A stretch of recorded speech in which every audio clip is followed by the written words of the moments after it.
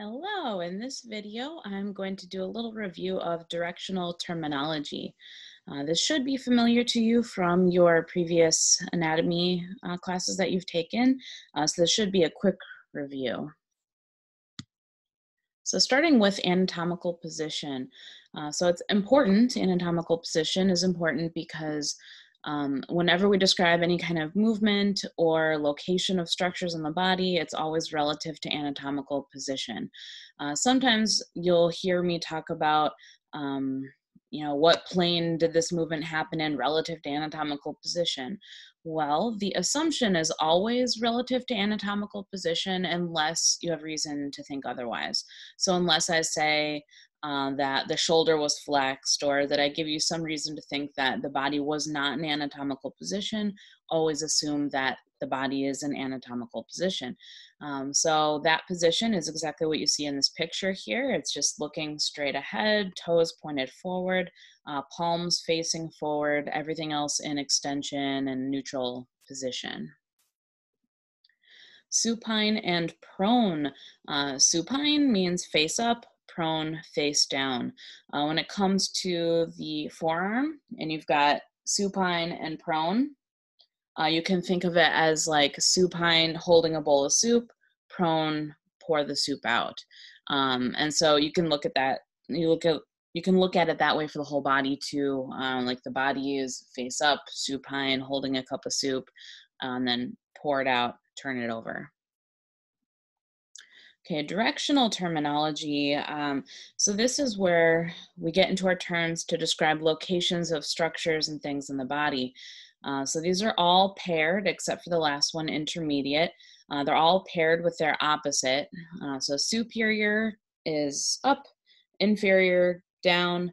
Um, cephalic and caudal, uh, those aren't used as commonly with humans, but you will hear those terms used, like if depending on what um, research articles you might be reading, they might use those terms. Uh, but cephalic means toward the head, caudal towards the tail. Uh, so I'm sure you can see why that's a little bit confusing in humans. Um, more or less, it's kind of synonymous with superior and inferior, except once we get past the tailbone, now which way is toward the tail. So it gets a little bit confusing. So that's used more often in quadrupeds, you know, dogs and cats and, and so on um, because toward the head and toward the tail makes the most sense. Uh, so cephalic towards the head, caudal towards the tail, which is mostly the same as superior and inferior, but not for the lower extremities. Um, anterior and posterior, anterior towards the front of the body, posterior towards the back of the body. Um, again, ventral and dorsal isn't aren't used as much with humans as they are with animals. Um, but you will see these, especially in like neuroscience papers and things like that. Uh, ventral is belly side, dorsal is back side. So think of like the dorsal fin of a dolphin, that's the fin on their back. Um, so in humans, anterior is the same as ventral, posterior is the same as dorsal, um, but you'll see anterior and posterior used more often with humans and ventral and dorsal more with animals. Um, medial towards the midline of the body, lateral away from the midline of the body. Um, ipsilateral uh, means on the same side of the body, contralateral on the opposite side of the body. Um, so you, that's used like if a patient comes in and let's say they tore their ACL on the right knee and they're having contralateral hip pain, that means that they're having left hip pain. Um, so ipsilateral and contralateral are terms that we use to describe where something is relative to something else in terms of is it on the same side of the body or the opposite side of the body. Uh, proximal and distal, uh, we only can use on the limbs. And we don't use this on the head, we only use these on the upper and lower extremities. Um, so proximal is describing the location um, that's closer towards the trunk, distal further away from the trunk. Um, and always we use these terms to compare two things. So we couldn't just say like the elbow is distal. The elbow is distal to what is the question. The elbow is distal to the shoulder. The elbow is proximal to the wrist.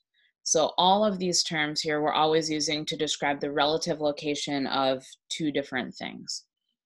Um, so proximal and distal, we only use them on the arms and legs.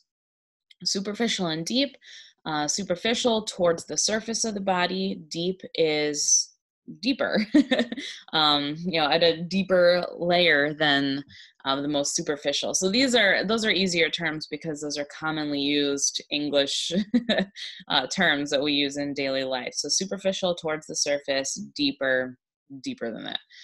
Uh, intermediate is our only one here that is not in a pair. Intermediate just means that it's between two structures. Um, so, like the nose is intermediate to the eyes, or in the feet, we have three cuneiforms in each foot, our three of our tarsals. So we have an intermediate cuneiform. That's the one in the middle. That's between that's sandwiched by the two other cuneiforms. Um, so make sure you know these really, really well. Um, practice these. Um, I recommend if you have a roommate or someone that you can go through these with, uh, that you quiz each other, or classmate, I guess you'd quiz each other, roommate could quiz you. Um, but make sure that you can name any two structures in the body and be able to provide the appropriate terms to describe the relationship. So, like the sacrum is what to the belly button, or the nose is what to the shoulder. Um, so make sure that you can describe relative locations between any structures in the whole body. And keep in mind that there isn't always one exact right answer. Like the nose to the shoulder, there are a few things that we could fill in the blank there with. So be able to list them all. Um, you know, the nose is superior to the shoulder, the nose is medial to the shoulder, uh, the nose is cephalic to the shoulder uh, just as some examples. So just make sure that you're able to use these really fluently uh, without really having to even think about it. So see you in our next clip.